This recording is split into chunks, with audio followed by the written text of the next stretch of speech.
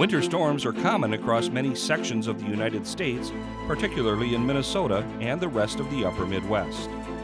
You'll see snowplows and other snow removal equipment along our roadways before, during, and after snowfall events during snow and ice season, the winter months, typically between mid October and mid April. During this program, we'll learn about winter work zones and how MnDOT removes snow and ice, the hazards that motorists and snowplow operators face, and what you can do to drive safely when snowplows are present. Every snowstorm is different, and we approach each one accordingly.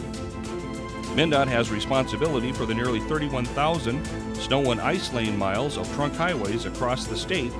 Trunk highways are U.S. state and interstate routes.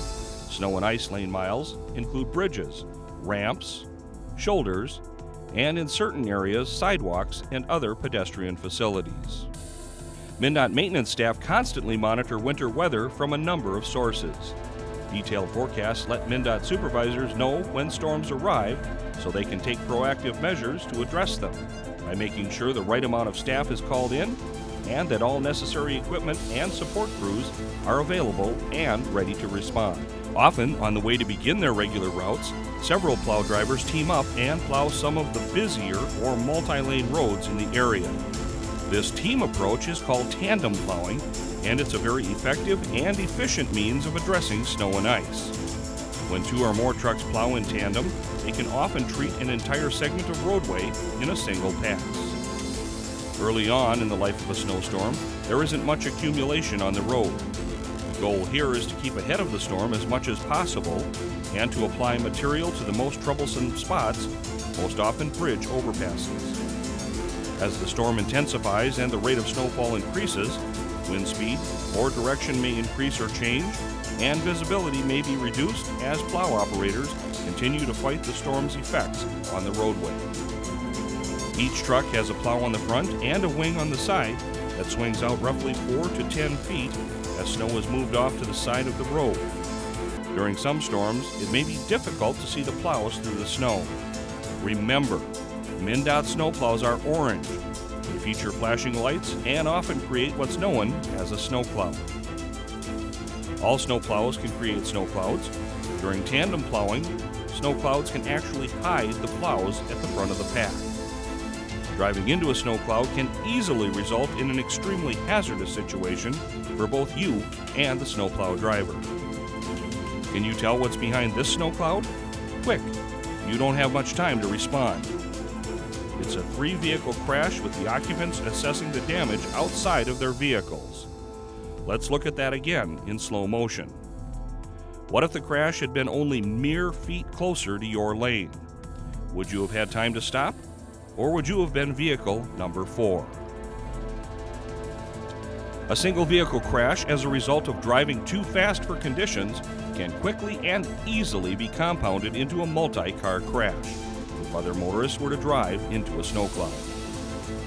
During the brief period of time filming this particular section of freeway, we saw several crashes, and many appeared to have been caused by motorists driving into a snow cloud and finding themselves involved in the crash. Most crashes can be avoided if you remember two very important things during snow and ice season. Don't crowd the cloud and drive for the conditions. At intersections and other areas prone to slipperiness, such as ramps and bridge overpasses, you're very likely to find trucks spreading salt and other materials at low speed. If you get too close, you could find your car covered in these materials, so it's important to keep your distance. And just because you see plows out on the roads, don't assume there won't be any slippery areas. It takes time for materials to take effect. Snowplows often travel at slower speeds than the rest of traffic, and snow and ice traffic conditions can force them to slow down more rapidly or even unexpectedly. On a yearly average, 35 MnDOT snowplows are rear-ended in collisions. Rush hour on rural freeways usually is fairly light, and traffic moves along at a steady rate. As we head toward the Twin Cities, we'll focus on snow ridges and icy road conditions. Snow ridges are common where entrance ramps and exit ramps join the freeway. Snow ridges form as plows push snow off the freeway. They also can be formed when plows move off a roadway's center line to provide room for other traffic. Snow ridges can cause you to lose control of your vehicle, and they're particularly hazardous when they occur in icy areas. While most crashes don't involve snowplows, enough of them do take place with plows that you must give special consideration and use extreme caution.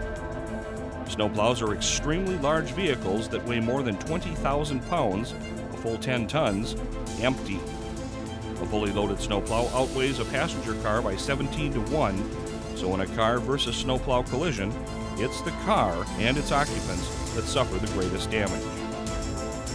Snowplows feature wings on the right side, while others have the wing on the left side.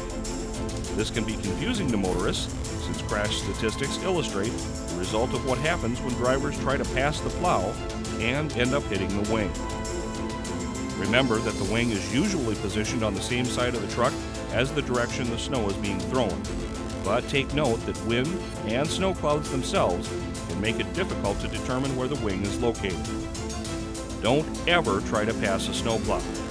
You may not know upon which side the wing is located, and you can't see whether or not the road is clear ahead of the plow. Snowplows are there to provide you with a less treacherous roadway ahead of you, so let them lead the way. As we enter the Twin Cities metro area, we see perhaps the ultimate in tandem plowing. Five plows clearing one side of the freeway to the other from shoulder to shoulder. When you come up behind a situation like this, just be patient and follow behind.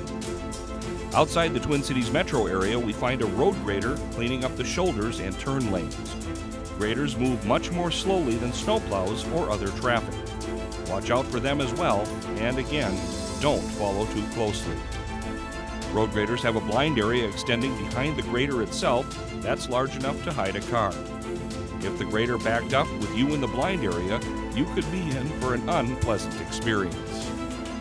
Once the storms have moved on and the roadways become clearer and drier, it's time for crews to finish the job and get to what's called cleanup work.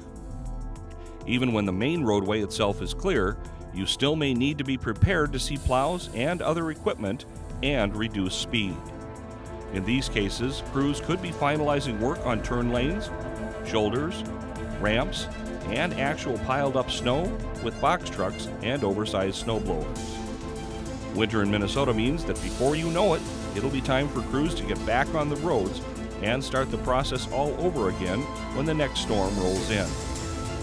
Over the last few moments, we've had a chance to see plows at work. Remembering this information as snow and ice season hits can help you make winter driving safer for all of us. Don't crowd the cloud. Give them room to work and always reduce your speed under slippery conditions. In closing, let's take a look at a brief public service announcement that demonstrates the importance of driving safely around snowplows.